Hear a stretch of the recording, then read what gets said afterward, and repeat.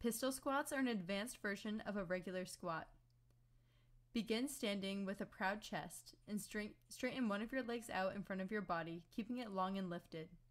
With the standing leg, bend the knee and slowly lower the body down into a squat, balancing the body weight on the heel and keeping the back straight while leaning forward. Squeeze the glute of the standing leg to stand back up. This is an advanced move that may take a while to achieve. To build up the strength it takes to do a rep, focus on doing assisted pistol squats by holding onto a wall or a chair. You can also just continue to do regular squats until you work up the strength to do an assisted squat.